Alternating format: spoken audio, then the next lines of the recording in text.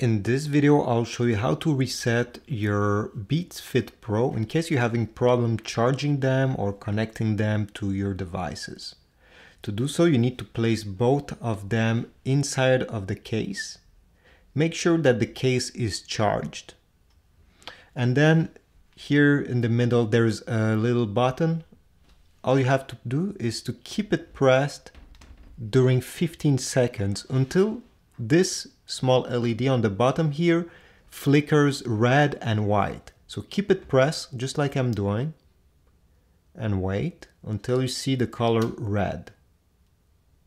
Perfect. Now it's flashing red and white. You can release the button and the case will continue flashing the white LEDs.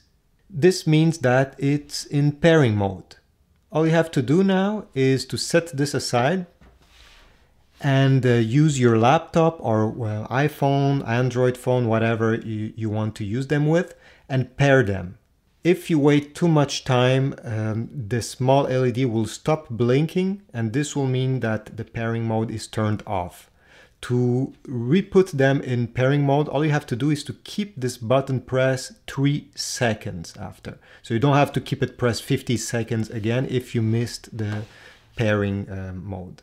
So thanks for watching. I hope this was useful. Please leave a like, subscribe, and um, I'll see you in the next one.